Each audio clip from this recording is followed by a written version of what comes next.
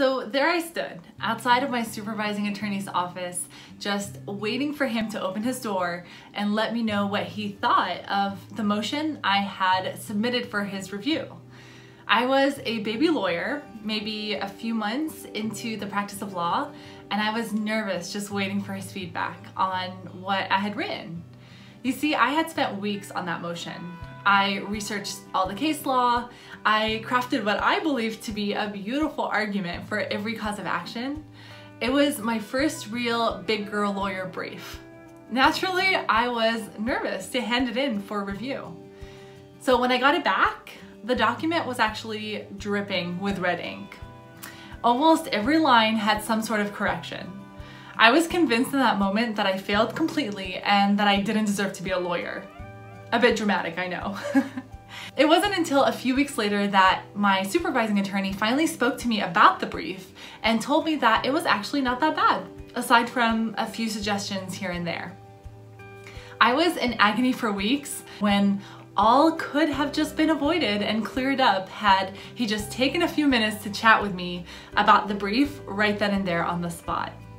From that moment, I became convinced that most feedback is best served fresh and on an ongoing basis.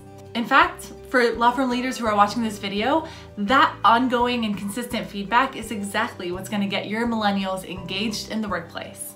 So that is what we're talking about today. I'm Nicole Abboud of NicoleAbboud.com, and I'm a leadership speaker and the host of the Gen Y Lawyer podcast. Welcome to Lead Like a Lawyer with Attorney at Work, where we share one really good idea every day. When it comes to feedback in the workplace, we as millennials want the good, the bad, and the quick. Whether it's praise for a job well done or constructive insight on how we can improve, we want to hear all of it.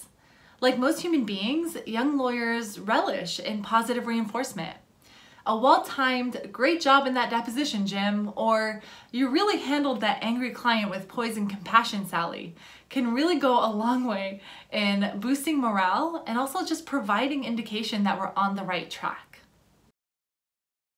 At the same time, we want to hear when we're not on the right track. We're open to hearing when and where we can improve and further develop ourselves and our work.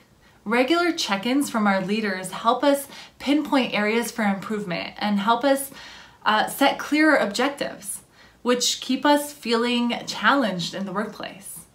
This continuous process of evaluation allows us to acknowledge our achievements and improve on areas that require development.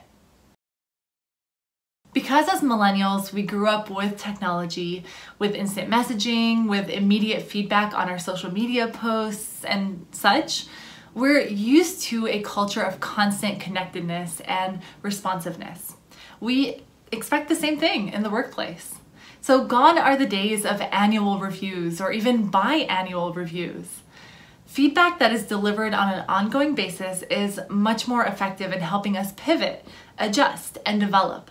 Frequent feedback also encourages open dialogue between law firm leaders and millennials.